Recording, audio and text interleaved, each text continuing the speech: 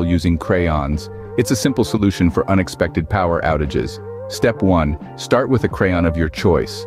Remove the paper coating completely, leaving just the wax.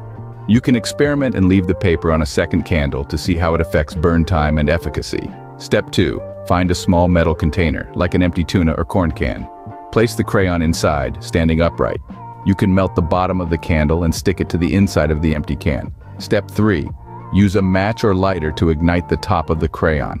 Be cautious and make sure the crayon is securely placed in the container. Be sure to never leave the lit candle or any fire unattended. It might not last all night, but it'll buy you some time and add a cozy touch to the darkness.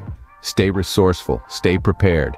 If you found this tip handy, give it a like and subscribe for more quick and clever DIYs. Until next time, stay illuminated.